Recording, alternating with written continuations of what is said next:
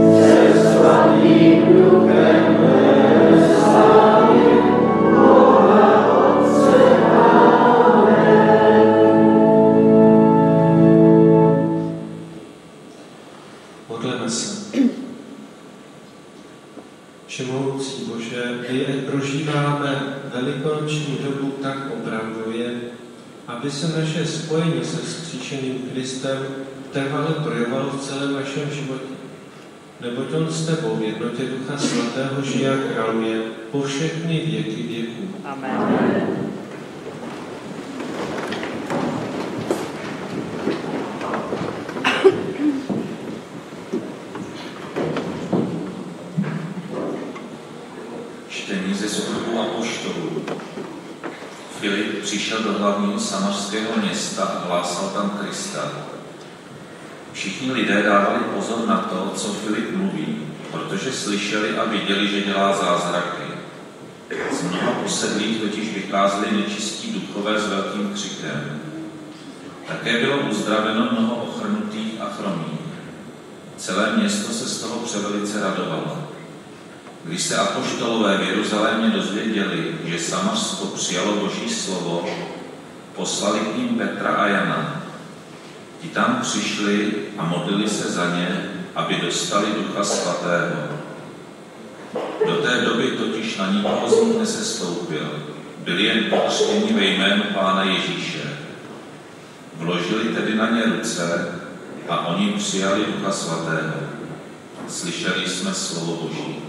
Amen.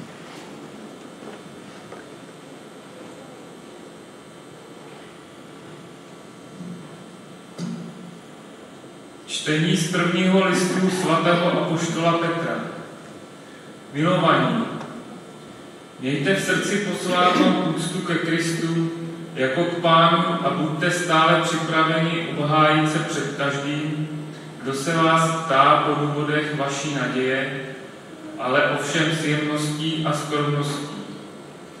Musíte však mít přitom sami dobré svědomí, pak se budou muset zastydět za své špatné řeči ti, kdo pomlouvají vaše dobré křesťanské chování. Je přece lépe, abyste snášeli utrpení, chceli to tak Bůh, za to, že jednáte dobře, než za to, že jste udělali něco špatného. Vždyť i Kristus vytrpěl jednou smrt za hříchy spravedlivý za nespravedlivé, aby nás smířil s Bohem. Byl sice usmrcen podle těla, ale podle ducha dostal nový život. Slyšeli jsme slovo Boží.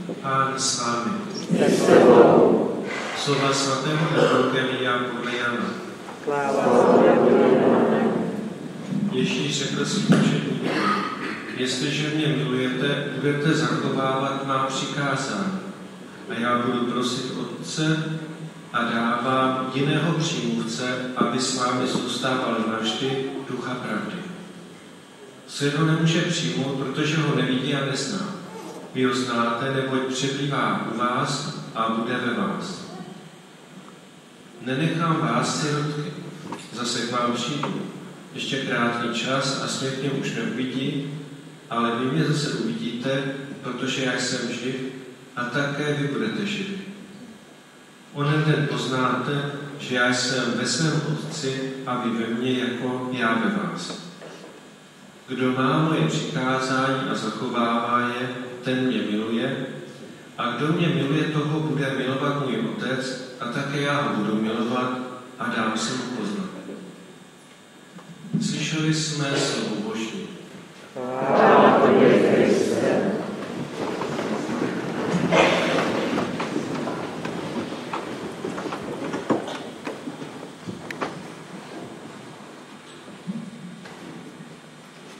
úvodní modlitbě dnešní neděle jsme prosili, aby se naše spojení se vzkříšeným Kristem trvale projevovalo v našem životě.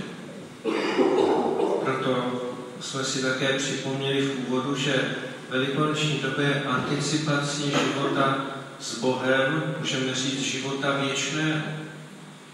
To, co nás čeká ve slávě nebe, máme o velikonocích trvale prožívat naše spojení s Kristem, s Kristem skříšeným. Svět je, bratři a sestry, bytostně závislý na spojení s Bohem. Takže i celé stvoření, univerzum, vesmír je neustále živen Boží mocí.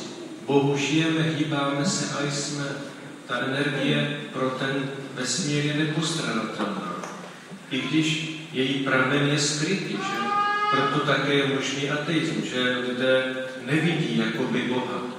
Nevidí uh, to boží dílo. Protože když malíř namaluje obraz, tak tam zanechá autogram. Bůh ten autogram zanechal v tom té dokonalosti, ale také v tom, že uh, dovoluje nám, abychom v tom jeho díle pokračovali. Že ne, neučinil to jako, když skladatel složí skladbu a a je tam nějaké finále a tím, tím to končí. Potom se to jenom opakuje, že? Ale Bůh stvořil si tak, abychom v něm mohli spolupracovat s ním jako stvořitelem, vybavuje nás svým darem moudrosti, svými, svými kvalitami, smyslem pro krásu, pro estetiku, že? Pro, pro harmonii, pro barevnost pro pestrost tvarovou, že všechno to vnímáme a jsme schopni rozvíjet tohleto boží dílo. Ale jak jsme si říkali, ještě větší dílo než stvoření světa je dílo jeho vykoupení, vykoupení světa, převedení tohoto díla do věčného trvání skrze člověka. Protože my do věčnosti poneseme všechno, co jsme v tomhle světě prožili. Všechno, co jsme zakoušeli, ať už to bylo pro nás příjemné nebo i nepříjemné, všechno to má cenu. Ať žijeme nebo umíráme, patříme Pánu. Všechno to je možné jakoby instalovat do toho Božího království v nějaké podobě. A aby bylo to naše spojení s nebem možné, tak Bůh se stal člověkem. Slovo se stalo tělem. Ježíši Kristu se zviditelňuje to skryté boží dílo v nás. My jsme povoláni k tomu, abychom byli nositeli tohoto božího života. Ale přítomnost Kristova je lokální. Víte, že Ježíš mohl být přítomen jenom v jednom čase na jednom místě. Nikdy se neobjevil na dvou místech najednou. Proto setkat se s Kristem znamenalo někam putovat, že je tam nebo je onde. Musel člověk se vydat na cestu, aby se s ním setkal, mohl, být, eh, mohl se dotknout, mohl být uzdraven, mohl být zachráněn. Proto Ježíš Kristus nepočítal s tím, že tady bude jakoby trvale ve své fyzické podobě přítomen, ale jak říká e, papežský kazatel Kantal Mesa, on se stal předchůdcem Ducha Svatého. On připravoval e, svou misí zase prostor pro třetí božskou osobu. Proto, aby Kristus mohl být přítomen trvat v tomhle světě, ale už jinak, ne ve své osobě, ale ve svém mystickém těle církvi. Takže církev je tím kráčejícím Kristem dějinem. A Duch Svatý tvoří. Z nás, jako z živých kamenů, si vytváří, pokouší se vystavět chrám. Víte, že každý chrám má svůj počátek a svoje dovršení počátek, to je to položení základního kamene, kdy tam se poklepe eh, kámen a řekne se tady na tomhle místě se postaví chrám. To je, řekněme, křes, že? Ale je otázka, jestli ti, kteří byli pokřtěni jako s těmi mimina, že jako děti, jestli se stotožní s tou vůlí svých rodičů. A proto je také svátost běžmování, kdy se dovršuje ta svátost křtu jakoby kompletuje, že? protože Pán Ježíš říká, do věří dá se, že bude spasen, neboli stane se nositelem té boží milosti. A proto Velikonoce jsou pečetěny touto událostí Ducha Svatého. Směřujeme už je šestá neděle Velikonoční, že směřujeme k tomu, abychom slavili tuto třetí božskou osobu, působící tak, aby vytvářela z nás jedno tělo živý chrám. Abychom ale nezůstali také jakoby mrtvé kameny v tom chrámě. Má to být chrám živý, který je v pohybu. Proto také eh, řekl papež František včera v Amánu, že eh, křesťané mají poslání jít, že jsou nejenom uvedeni do vztahu ke Kristu, ale že jsou také uvedeni do pohybu, aby přinášeli ten nový život tam, kam jsou posláni, kam je Bůh vede, kde mají zvěstovat Boží království. A tak říká, svat, eh, říká se ve apoštolů o Filipovi, který jako jáher kázal v Samarsku a pokřtil je křtem Ježíšovi. To znamená, víte, že křtil také Jan Křtitel, takže byl před tím křest Janu, že? tak tam bylo to odlišení, že už je to křest Ježíšu ten křest, který znamená sjednocení s Otcem, Synem a Duchem Svatým, odpuštění hříchů, nový život. Protože když se stal někdo křesťanem, je to nové stvoření. Staré pominulo a nové nastoupilo. A toto je o tom poznat, že jestliže někdo dostal eh, tu, tu zkušenost s Bohem, tak jako je pozem k tomu, aby o tom svědčil aby, aby vydával tom svědectví světu.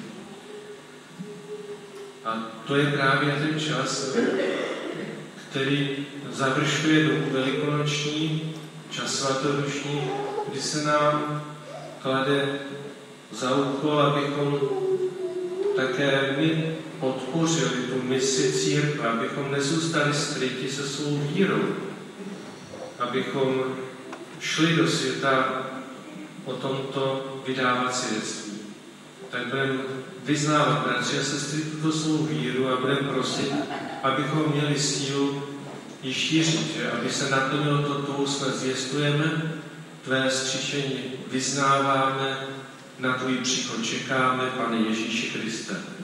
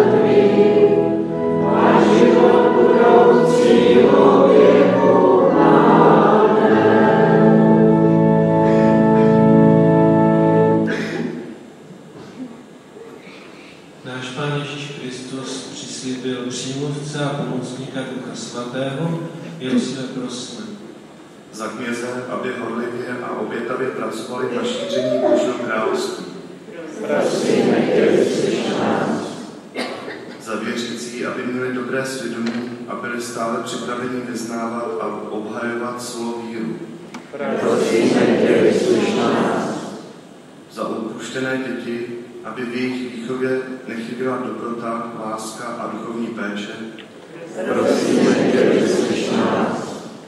Za nás všechny, abychom s vírou poznávali tajemný život Boží a čerpali z něho sílu pro svůj každodenní život. Přijmi Bože oběť této mše svaté za rodinu Findovů, Karáskovů, Prknovů a Jelonkovů.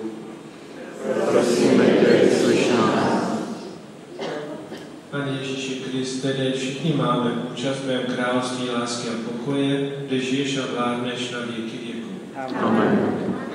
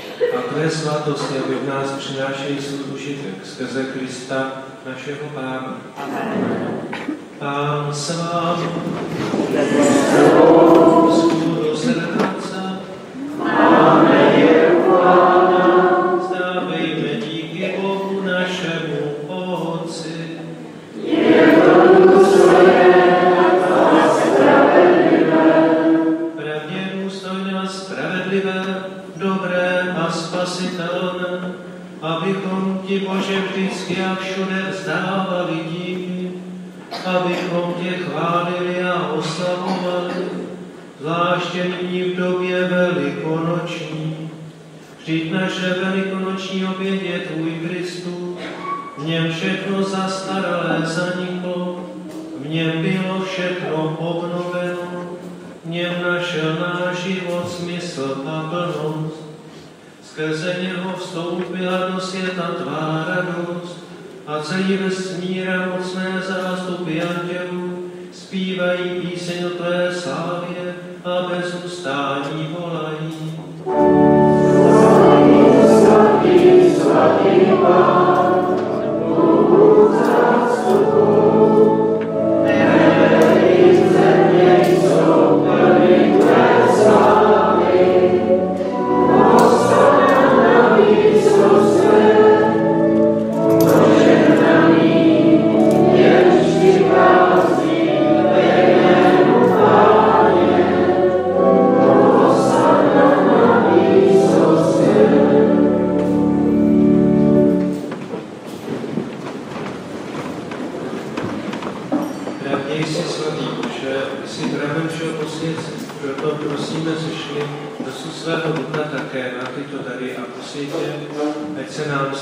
tělem a krví našeho Pána Ježíše Krista.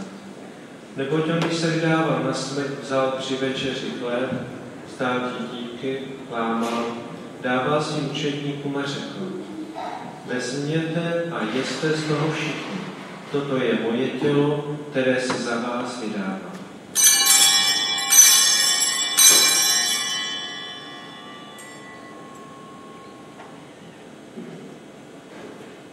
Po večeři vzal také kalich, znovu tě dal svým učedníkům a řekl, vezměte a pijte z něho všichni. Toto je kalich mé krve, která se prolévá za vás a za všechny odpuštění hříchů.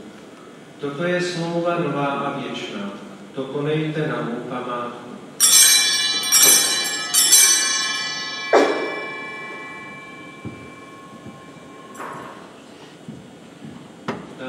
mojej wiry.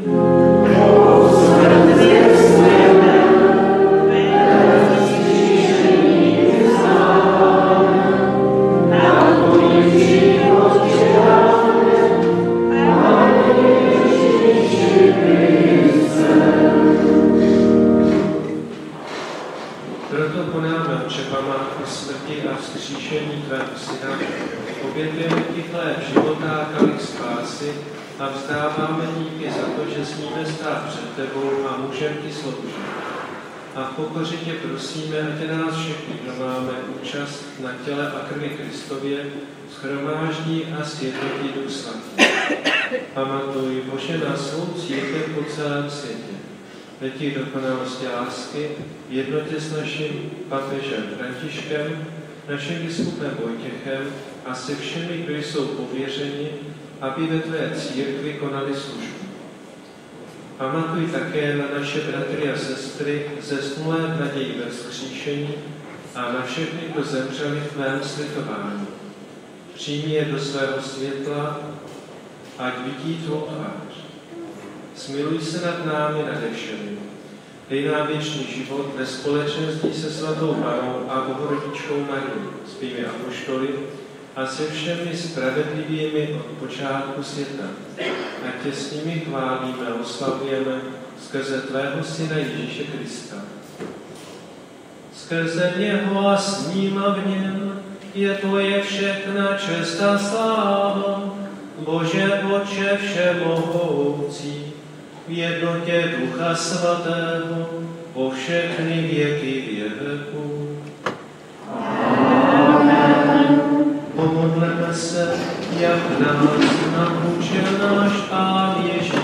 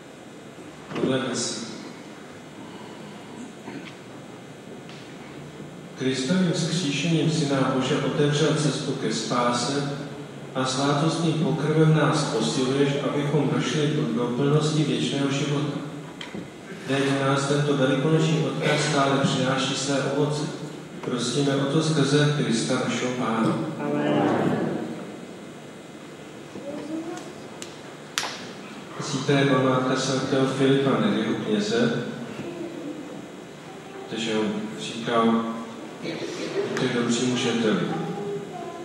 Takže je to na nás. Večerní mše svatá v 18 hodině v Louce. Úterý je památka svatého Augustina z biskupa. Ve čtvrtek slavnost na nebevstoupení páně. Vše svatá zde dopoledne v 8.30, večer u svatého Víta v 18 hodin, Budkově v 19. Že také tento den je možné prožít na Petrově. Školní děti jsou pozvány k setkání s otcem biskupem.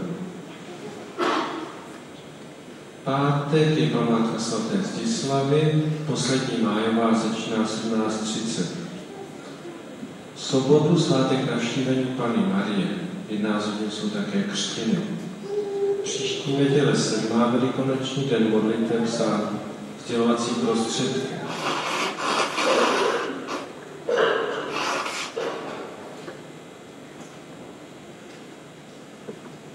Je rozdíl mezi položením základního kamene a dostavbou posvěcení chrámu. Takže my slavíme posvěcení. Měli bychom také slavit samozřejmě to položení základního kamene.